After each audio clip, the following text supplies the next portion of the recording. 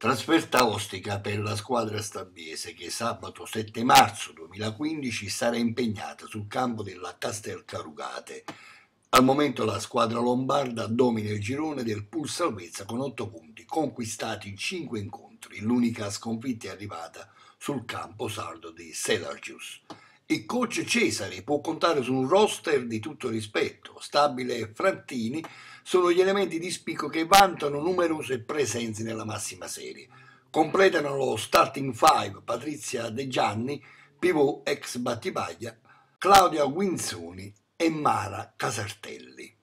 Sicuramente la salvezza della TRG Stabia deve essere costruita su un parquet amico, ma il quintetto stabese vuole allungare la striscia di vittorie. La gara di sabato può essere l'occasione giusta per mandare un segnale forte alle concorrenti per la salvezza.